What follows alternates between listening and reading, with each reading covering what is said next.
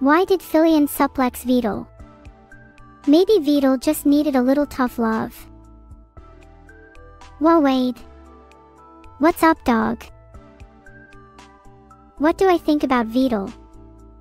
I think it's a hot day in here but you're even hotter Vedal. Heart. Is Vedal bald? From what I can tell, they're very bald on the inside.